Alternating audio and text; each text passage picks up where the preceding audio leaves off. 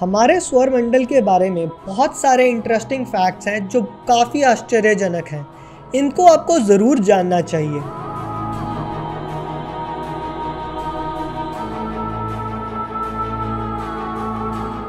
This is facts with Veer ji and इस video में मैं आपको हमारे स्वर मंडल के बारे में कुछ अमेजिंग फैक्ट्स बताऊँगा। चलिए शुरू करते हैं। Number one planet and moon that can float in water Saturn का एक मून है, जिसका नाम है हाइपरॉन ये आपको थोड़ी स्पॉन्जी दिखती होगी। ये तो ठीक है, पर अमेजिंग बात यह है कि इसका जो घनत्व है, वो पानी से भी आधा है। अगर हम लोग इतना बड़ा बाटब बना दें, जो इस मून से बड़ा हो, और अगर आप उस बाट में इस मून को डाल दो तो ये पानी में तैरने लगेगा। प्लैनेट सैटन यानी शनि ग्रह का भी कुछ ऐसा ही प्रॉपर्टी है।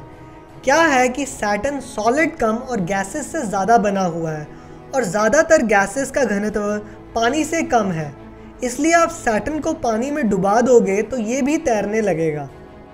Number two asteroid with moon हम लोग ये तो जानते हैं कि प्लैनेट्स का अपना मून होता है, जैसे जुपिटर का यूरोपा मार्स का फोबोस अर्थ का मून पर क्या कोई एस्टोरॉयड है जिसका अपना मून हो सकता है? जनरली एस्ट्रॉयड का कोई मून नहीं होता है। वो तो खुद मून से छोटे होते हैं।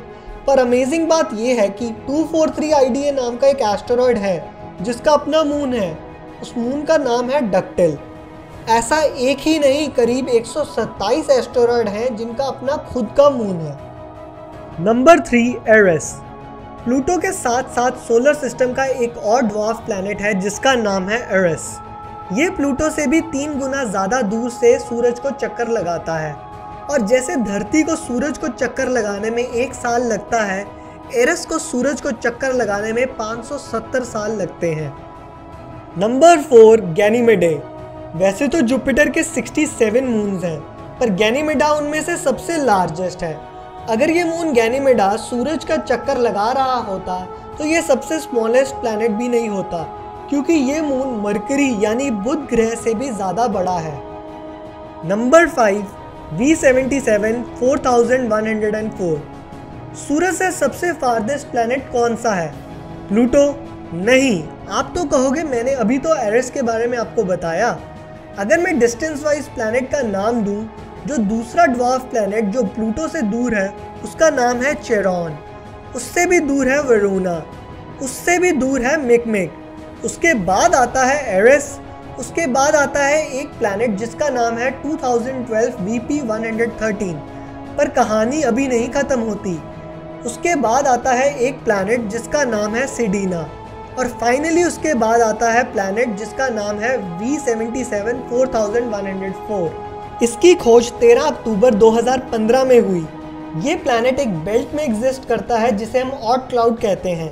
और ड्वार्फ प्लैनेट आयरिस जिसके बारे में मैंने आपको बताया उससे भी 500 गुना ज़्यादा दूर से सूरज का चक्कर लगाता है मतलब कि करीब इतने किलोमीटर दूर से। और अजीब बात यह है कि एस्ट्रोनॉमर्स को भी अभी तक पता नहीं चला कि इन ड्वार्फ प्लैनेट की फॉर्मेशन कैसे हुई। लाइक कमेंट और शेयर करना मत भूलिएगा। और अगर ऐसा इंटरेस्टिंग कंटेंट चाहिए तो इस चैनल को सब्सक्राइब कर लीजिए। थैंक्स फॉर वॉचिंग और मिलते हैं अगली वीडियो में।